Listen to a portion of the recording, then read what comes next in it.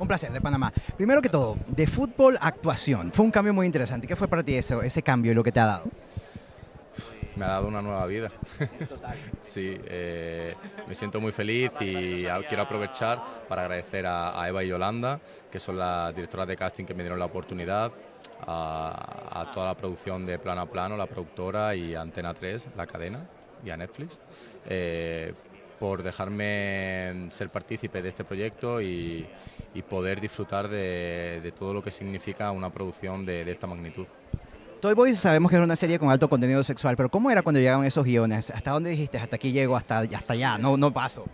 Te puedo contar una anécdota cuando leí el primer capítulo y, y vi que había que hacer una orgía en la página 7 o así. Me miré con, con mi coach, con Yal Belicha, que tengo un cariño enorme, y le dije, pero ¿esto cómo lo vamos a hacer? Me dijo, no te preocupes, vamos a centrarnos en nuestro trabajo y ya eso ya, ya se trabajará allí en, en situ en el momento. ¿Viene una tercera temporada o queda todo ahí? ¿Qué, qué viene más adelante?